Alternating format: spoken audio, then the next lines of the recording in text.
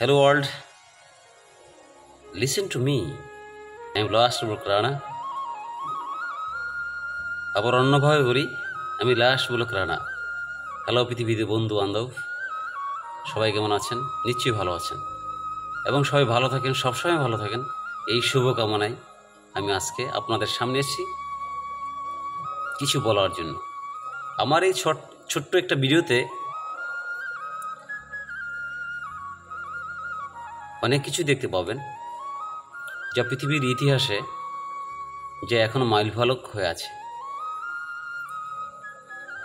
ভিডিওটা হচ্ছে ঐতিহ্যবাহী সোনারগাঁ নারায়ণগঞ্জ আজকের ভিডিওতে আমার থাকছে সোনারগাঁ নারায়ণগঞ্জ নারায়ণগঞ্জ জেলার সোনারগাঁ। সোনারগাঁ যে একটা জাদুঘর আছে, সেটাকে নিয়ে আমি কথা বলব।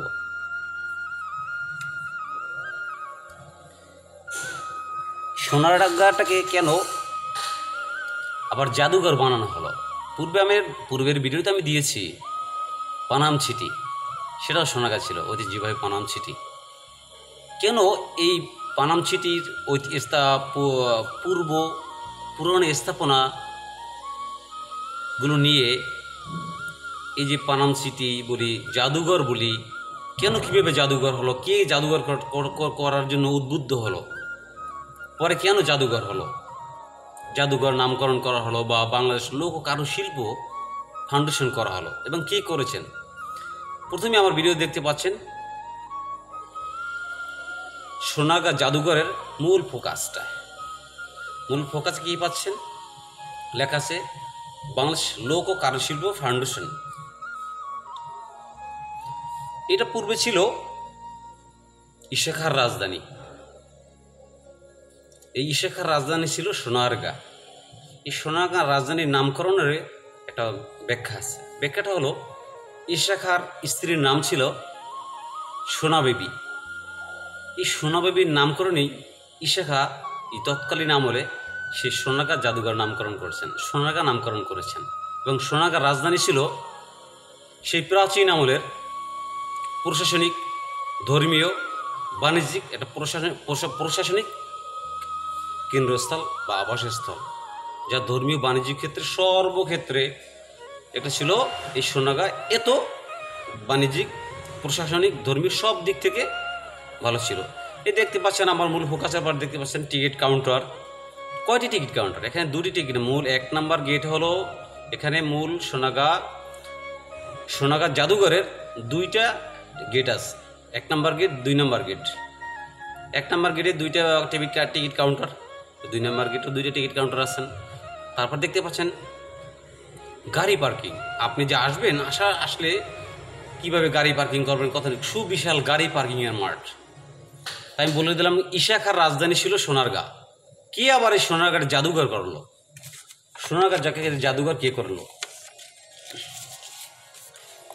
সোনারগাঁ এমনি তো অপরূপ কারুকার্য কারুকার্য, যা বলার অপেক্ষা রাখে না।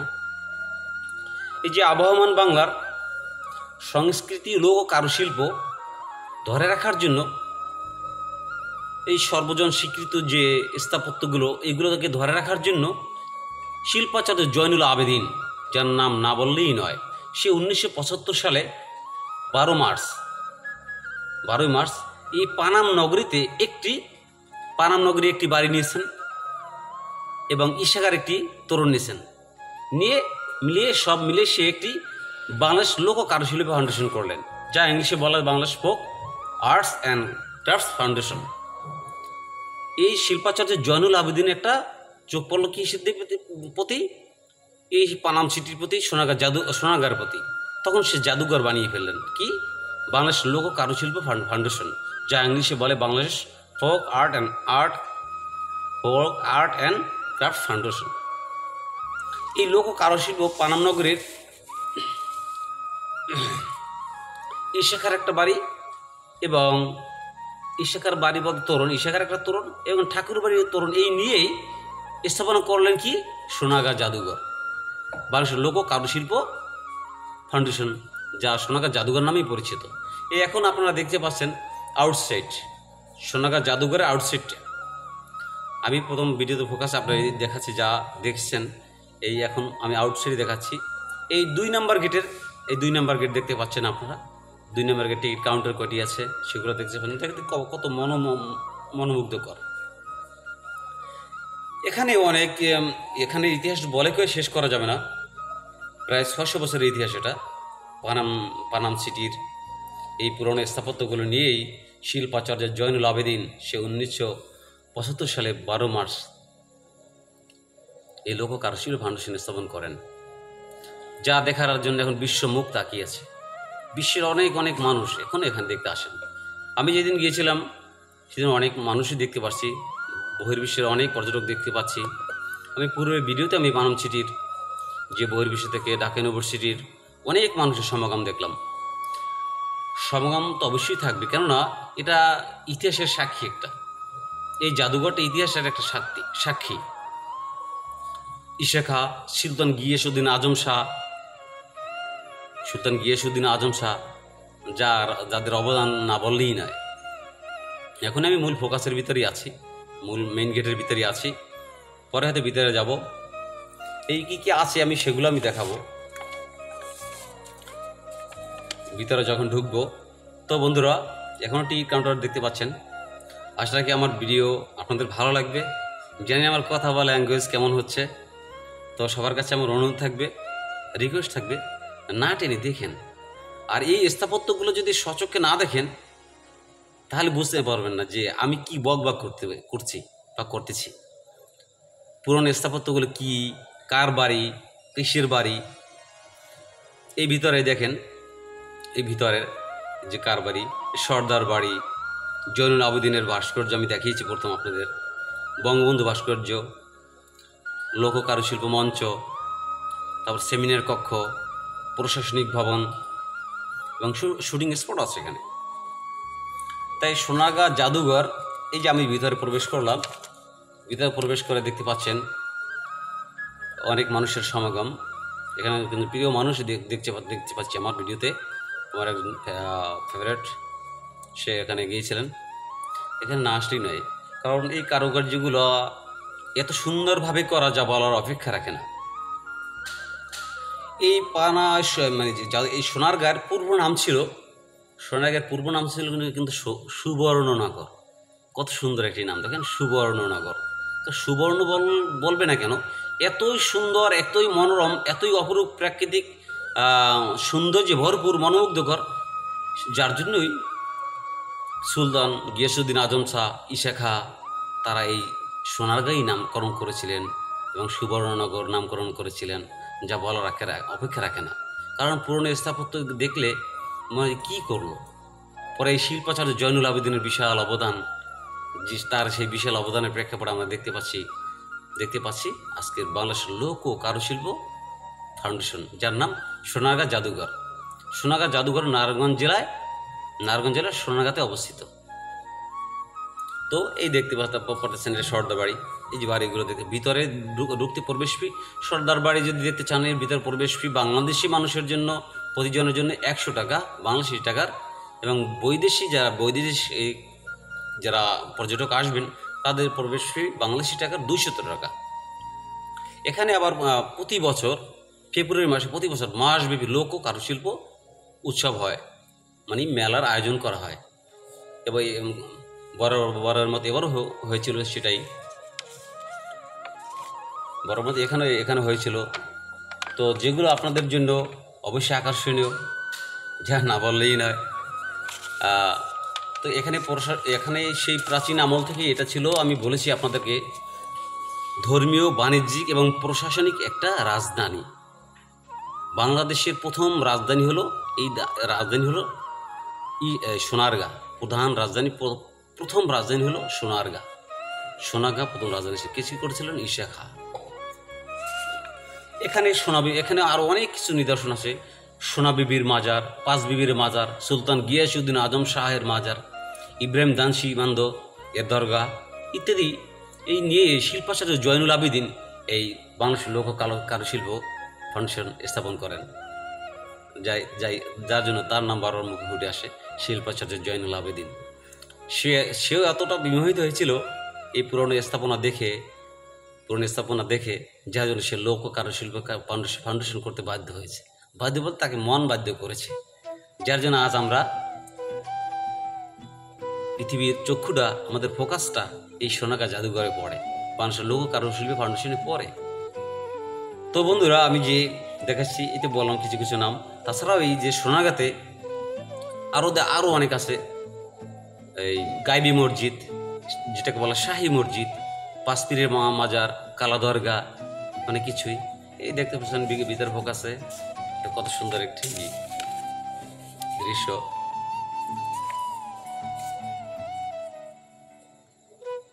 এখনও আমি মূল ফোকাস দিয়ে সামনের দিকে যাচ্ছি।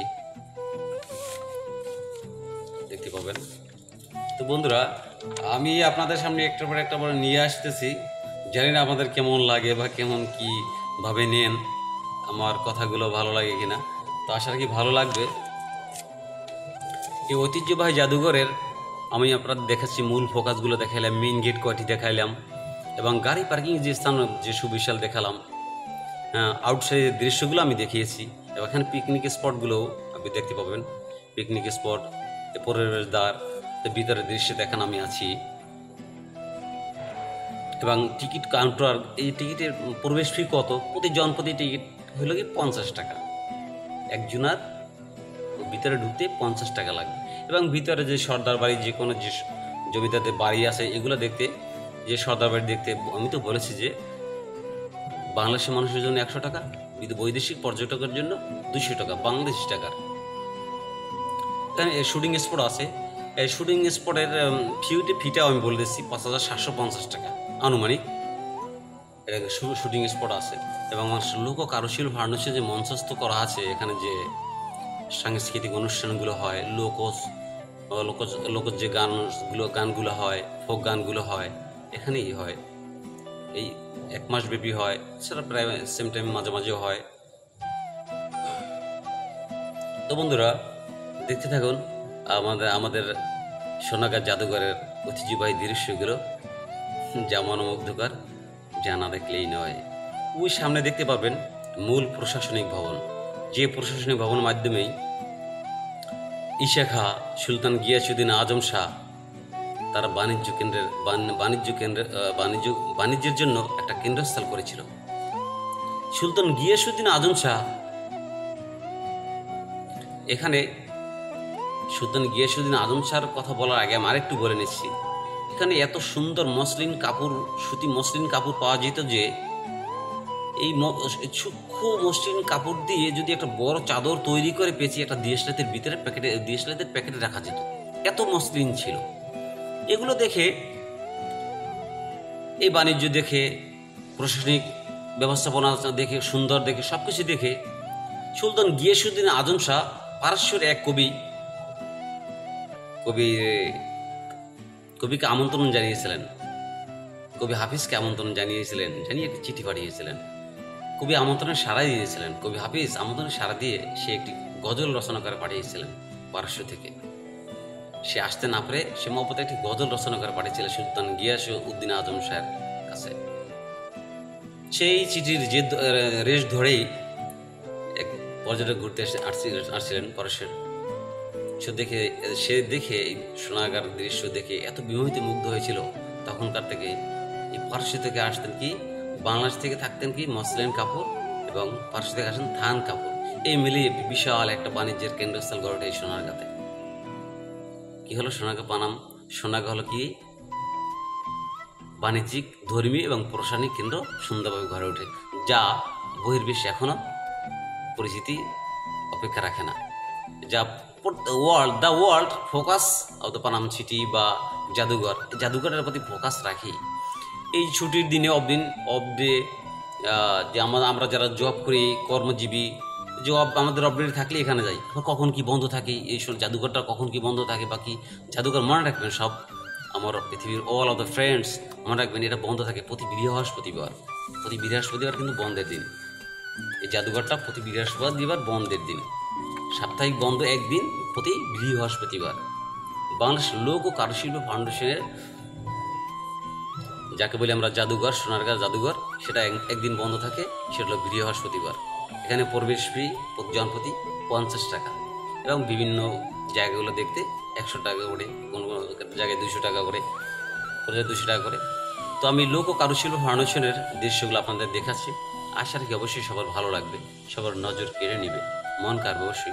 কারণ দেখেন, আমি সোনার সোনারগাঁকে একটা অর্থে বিশ্লেষণ করেছি, স। সতে আমি সুন্দর বললে ভুল হবে। সহায়কার স মানে স, সুন্দর। নয়কার না। নতে আমি বুঝাতে চাচ্ছি, নবরূপায়ণ, নান্দনিক। গা বলতে গ্রাম।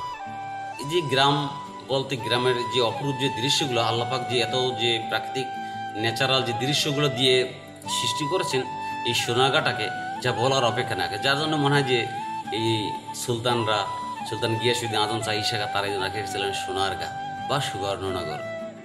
কারণ এত অপরূপ, এই সোনাগাতে শুধু এই জাদুঘরই না, সোনাগা আশেপাশে যে ন্যাচারাল দৃশ্যগুলো আছে, প্রাকৃতিক দৃশ্যগুলো আছে, যা অবশ্যই নান্দনিক।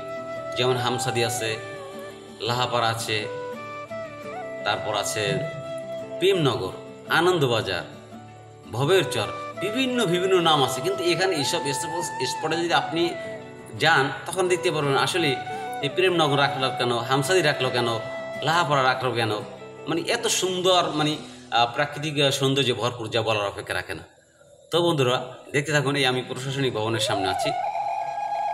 আসলে আপনাদের ভালো লাগবে। এই দেখেন শিল্পাচার্য জয়নুল আবেদিনের ভাস্কর, যার নাম বারবার বলতে হয়। সে সুলতানদের সুলতানদের স্থাপনাগুলো দেখে বিমোহিত হলে কি হয়েই সে এই বাংলাদেশ লোক ও কারুশিল্প ফাউন্ডেশন করেছিল? এই যে দেখেন, শিল্পাচার্য জয়নুল আবেদিন যার ভাস্কর্য আপনাদের সামনে, চোখের সামনে ভাসছে, যে আমার চোখের সামনে ভাস ভাসতেছে। সে সবাই এই স্থাপনাগুলো দেখেই তার মনে উদ্যোগ নিয়েছিল, মনে মনে টান দিয়েছিল। এখানে একটা কারুশিল্প করা যায়? যা মানুষ বিশ্বে যা দেখতে পারো, বিশ্ব থেকে সব প্রত্যেকটা মানুষ এসে দেখতে পারো, দেখে বিমোহিত হবে, মুগ্ধ হবে, আনন্দিত হবে। এখানে হাজার হাজার দর্শক মানে যাকে পর্যটক বলে, ঘুরতে আসেন। মানে ঘুরে কেউ শুটিং করেন, কেউ বসে কথা বলেন আড্ডা মারেন। মানে যা বলার অপেক্ষা রাখেন, বলা, বলার ভাষাই নেই যে আমি কীভাবে বলব। এত নান্দনিক, এত সুন্দর এত অপরূপ। এখনও আমি প্রশাসনিক ভবনে এখানে আছি। প্রশাসনিক ভবনে এখানে আছে বঙ্গবন্ধু শেখ মুজিবুর রহমানের ভাস্কর্য আছে। যা অবশ্যই আপনি দেখতে পারবেন। প্রশাসনিক ভবনের ভিতরের দৃশ্য, প্রশাসনিক ভবনের ভিতরের দৃশ্য দেখার জন্য এখানে ফি আছে। প্রশাসনিক ভবনে ফি দেখার জন্য আনুমানিক আমার সঠিক খেয়াল নাই, একশো টাকা মেবি। ওই ভিতরের দৃশ্য দেখার জন্য, না জানি, না হয় দুইশো টাকা। তো দেখতে এখন দেখতে পাচ্ছেন প্রশাসনিক ভবনটা স্লো মোশনে প্রশাসনিক ভবন। তো প্রাচীন স্থাপনাগুলো এতই অপরূপ ছিল যা শিল্পাচার্য জয়নুল আবেদিন বাংলাদেশ লোককার শিল্প ফাউন্ডেশন নামে পরিচিতি দিয়েছে বিশ্বের দরবারে। তাদের নাম আমাদের অন্তরে, তাদের নাম আমাদের অন্তরে চির স্বর্ণের অক্ষরে লেখা থাক। তো বন্ধুরা, আমার ভিডিওটি এই প্রশাসনিক ভবনটা আপনাদের সামনে দেখলাম। প্রশাসনিক ভবন থেকে কেউ আসছেন প্রশাসনিক ভবনের আশপাশটা দেখেন। এখানে একটা ফুল বাগান, যা অপরূপ, যা না দেখলেই নয়। এখানে প্রচুর দর্শক আছেন। আমি আপডেট দিনই গিয়েছিলাম মেবি শুক্রবার। সেদিনের ফোকাস এই শিল্পাচার জনুল আবেদিন, এই প্রশাসনিক ভবন, এই প্রশাসনিক ভবনের ভিতরের দৃশ্য, ভিতরে ঢুকে ঢুকি না আমি বাইরে থেকে নিয়ে শ্যুটটা নিয়েছি। তারপর প্রশাসনিক ভবন দিয়ে যে বামে যাবেন, বামে দেখতে পাবেন, বামে দেখবেন একটা সুন্দর একটা ব্রিজ যে ব্রিজটা কাঠের বলতে বাঁশের করা এই দেখেন। বাঁশ দিয়ে করা কত সুন্দর অপরূপভাবে করা আছে। দেখ- দেখতে থাকুন আপনারা। এই দেখেন আমি বাম সাইডে নিচে লেক লেক আছে। লেগে আবার ভিতরে আবার ওখানে বড় দিঘিও আছে, দেখেন যে দিঘিতে আপনারা নৌকায় ভ্রমণ করতে পারবেন। এই ভ্রমণের শেষটা, এই এখান থেকে ওই লোক কারুশিল্পের একটা যে মঞ্চ করা সেমিনার কক্ষ সেমিনারে যাওয়া যাবে। লোক কারুশিল্প যে ফাউন্ডেশনের যে একটা মঞ্চ আছে, ওখানে যেখানে গান বা গান, সাংস্কৃতিক অনুষ্ঠান হয়, সেগুলো দেখার জন্য। আমি দেখার জন্য এই দেখেন এখানে নৌকা। এই যে দিকটা নৌকায় অনেকে মানুষ ঘুরতে যান। ঘুরেন সেটা আমি দিয়ে দিলাম, দিয়ে দিয়েছি আপনাদের সামনে আপনাকে দেখার জন্য। তো দেখুন, এটা হলো লাইব্রেরি এই লাইব্রেরিতে দেখবেন আদি প্রাচীন আমলের অনেক বই সব কিছু দেখতে পাবেন। এবং এখানে এই স্টলে অনেক, এই সুতি কাপড়, থান, অনেক কিছুই মানে মেলা তো চলে, মেলাতে অনেক জিনিস ওঠে। এই আমি যাচ্ছি কিন্তু যে মঞ্চটা করা আছে বাংলাদেশ লোক, কারুশিল্প ফাউন্ডেশনের মঞ্চ, সে মঞ্চটা। ওখানে অনুষ্ঠানও চলে। অনুষ্ঠানে অনেক বাচ্চারা অ্যাটেন্ড করেছেন, যেমন কবিতা আবৃত্তি, গান, নাচ এবং ফোক গান, এগুলো নিয়েই অনেক দর- দর্শনার্থী এখানে আছেন। তো বন্ধুরা দেখুন, এই বাম সাইডে একটু পরে আমি যাব। বাম সাইডে দেখতে পারবেন মিনিটটা এখানে একটা কত সুন্দর একটা ঘোরা করছে। ওইখানেই মঞ্চ ওই, ওইটি মঞ্চ, ওই, ওইখানে বসে কথা বলেন। তার উপস্থাপনা করেন। দেখেন মঞ্চের পাশে আবার এই দিয়ে সামিয়ানা দিয়েছেন। দেখেন অনেক মানুষ। আর ভিডিও দেখে অনেক সরে যাচ্ছে। তো যখন এই সোনারগাঁ যে জাদুঘর, জাদুঘরের নামকরণ করার কারণটা কি? কেন শিল্পাচার্য জয়নুল আবেদিন সে উদ্বুদ্ধ হলো, তার মনে টান দিল যে ইশাখা সুলতান গিয়াসুদ্দিন আদম শাহের এগুলো, সে একটা বাংলাদেশ লোক ও কালুশিল্প ফাউন্ডেশনে ই করুক। ওই এক বদলের প্রেজেন্টেশন করতেছে। কে প্রথম স্থান অধিকার করছেন, কে দ্বিতীয় স্থান অধিকার, কে তৃতীয় স্থান অধিকার করছেন, এখানে প্রতিযোগিতামূলক অনুষ্ঠান ছিল। এখানে অনেক গিয়ে অনেকে পিকনিক করেন। অ্যাভেলেবেল পিকনিক স্পট আছে। ভিতরে বসে করেন। এখানে ভিতরে আপনি কেনাকাটার জন্য আপনি যা চান, হাতে হাতে বানিয়ে দেয় বেতের, মাটির জিনিস, হুম সব কিছু আপনি পাবেন। দেখেন আমি মঞ্চের ইটা দেখাচ্ছি, বঙ্গবন্ধু শেখ মুজিবুর রহমানের ছবিটা দেখতে পাচ্ছেন। এটা এখানে বেতে দিয়ে বেতের ই দিয়ে বানাচ্ছে মুরব্বী। হুম কত সুন্দর। এমনি সব জিনিসই পাচ্ছেন এখানে। কুলা কুলা বলতে যে আমরা চাল ই করি তারপর অনেক ঢাকনা তারপর ওই খারাই বলি তারপর হলে মুরগি গুলো ঢেকে রাখার জন্য যে বলে না ওটা কি? আমার মনে আসে না সত্যিকার অর্থে। উম, এইগুলো। দেখেন এইগুলো। তারপর আর একটা দেখতে পাচ্ছেন গ্যালারি। এই গ্যালারিতে অনেক কিছু আছেন যা হাতে দিয়ে বানায় মাটির মাটির জিনিস দেখতে পাবেন, মাটির, তারপর বেতের, অনেক কিছুই। এই দেখেন আমার একটা ফ্রেন্ডও আছেন এখানে সে ওনার সাথে কথা বলতেছেন। এই দেখেন কাঁসার জিনিস। আদি যুগের কাঁসার জিনিসগুলো যে মনোমুগ্ধকর কাঁসার জিনিস যেমন বিদ্যালয় জিনিস, অনেক কিছু দেখতে পারবেন এই মাটির। হুম, আপনি সব মানে এমন কিছু নেই যে পাবেন না, প্রায় জিনিসটাই পাবেন এখানে। এবং যেরকম কাপড়, যে কাপড় হাতের নকশি কাঁথা নকশি কাঁথা কীভাবে সেলাই করে, এবং আমার আপনার কাছে বসে সেলাই করে দিবে, আপনি কালেক্ট করে সংগ্রহ করতে পারবেন। দ্যাট মিনস কালেক্ট করতে পারবেন। এভাবে সোনাগাঁয় জাদুঘর, এই দেখেন, ওই গ্যালারিতে দেখাচ্ছি আমি। এখানে বিভিন্ন কাপড়ের কাপড়ের দৃশ্য। সুতি কাপড়, থান কাপড়। বিভিন্ন থ্রি পিস জামদানি ও বিভিন্ন ধরনের শাড়ি আছেন সালোয়ার কামিজ আছেন থ্রি পিস যা অনেক কিছু আছেন, যা বলার অপেক্ষা রাখে না। আমি গ্যালারিগুলোর দৃশ্য দেখাচ্ছি এখন আমাদের। এটা কত হেক্টর জমি নিয়ে? প্রায় ষোলো হেক্টর ষোলো হেক্টর জমি নিয়ে হ্যাঁ ষোলো হেক্টর জমি নিয়ে এই কিন্তু বাংলাদেশ লোক কারুশিল্প ফাউন্ডেশন স্থাপন করেছিলেন শিল্পাচার্য জয়নুল জয়নুল আবেদিন, যার নাম নাম ষোলো হেক্টর জমি, ষোলো হেক্টর জমিতে বিস্তৃত এই সোনাগা লোক বাংলাদেশ লোক কারুশিল্প ফাউন্ডেশন। এই দেখেন, এই গ্যালারিতে হরেক রকমের কাপড়ের দৃশ্য, যা আপনারা সংগ্রহ করতে পারেন। বিভিন্ন মূল্য তালিকা দেওয়া আছে এখানে লোকতে দেওয়া আছে। তো আপনাদের জন্য আমার এই আয়োজনটা ছিল, ছোট- ছোট্ট একটা আয়োজন ছিল, যে সোনাগাঁ জাদুঘরটা নামকরণ করল কে, কেন এবং কিসের জন্য করল, এখানে কী কী আছে আছে সেটা আমি সংক্ষেপে তুলে ধরলাম। কীভাবে আসবেন? ঢাকা থেকে যারা গাড়ি নিয়ে আসবেন গুলিস্তান হয়ে গুলিস্তান হয়ে সোনারগাঁ, নারায়ণগঞ্জ পার হয়ে সোনারগাঁর দিকে আসবেন।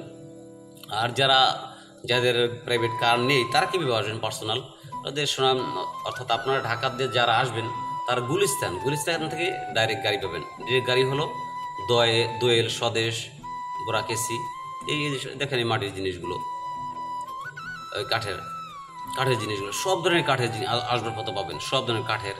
তারপর, কি বলব? মানে সব ধরনের জিনিস এখানে পাওয়া যাচ্ছে। মানে কাঠের, মাটির রেশমি, তারপর কাঁসার জিনিস, সব ধরনের জিনিসই এই, যার জন্য বাংলাদেশের লোক, লোকজ ও কারুশিল্প ফাউন্ডেশন করেছেন শিল্পাচার্য জয়নুল আবেদিন। তো ঢাকা থেকে যারা আসবেন, স্বদেশ দোয়েল সরাসরি আসে, টিকিট পঁয়ষট্টি টাকা বা পঞ্চান্ন টাকা নেবে। আপনাদের এই সোনাগা জাদুঘর আসতে একজন করে একজনের, এক প্রতি জনের একশো টাকা হয়তো মেবি কষ্ট যাবে মানে ব্যয় হবে, খরচা হবে। এবং ভিতরে ঢুকতে প্রবেশ ফি আমি কত বলছি? প্রবেশ ফি তো পঞ্চাশ টাকা করে। এই আর দেখেন ভিতরে এইসব দৃশ্য, এই লেকটা বিশাল একটা লেক। এই লেগে আবার নৌকায় ভ্রমণ করেন। এই ব্রিজ থেকে আবার ওপার যাওয়া যায়। তো বন্ধুরা, আমি আপনাদের সামনে যে ভিডিও- ভিডিওটি প্রয়োজন করেছি সংক্ষেপে জানি না কেমন করে বলেছি, কী করেছি। এখানে বায়োস্কোপ অনেক কিছুই আছেন বাচ্চাদের খেলাধুলো করার জন্য, বিভিন্ন রাইডস আছেন। এই রাইডসগুলো আমি দিয়েছি, সন্ধ্যা হয়ে গেছেন তো বন্ধুরা, আশা রাখি আমার এই ভিডিওটা আপনাদের অবশ্যই ভালো লাগবে। আবার প্রশাসনিক ভবনটা দেখাচ্ছি। আমার ভিডিওটিকে লাইক কমেন্ট শেয়ার করবেন। আশা রাখি ভালো লাগবে। আমি লাস্ট বলে করে আনা। আপনাদের সামনে আমি আবারও আসব। আমি দোয়া করি বিশ্বের সকল বন্ধু বান্ধব থেকে শুরু সবাই ভালো থাকুক, সুন্দর থাকুক এবং সুখ এবং থাকুক সবার জন্য আমার শুভকামনা এবং ভালোবাসা কোরআন ভালোবাসা। আমি লাশ বলে কারণ সুদ সি ইউ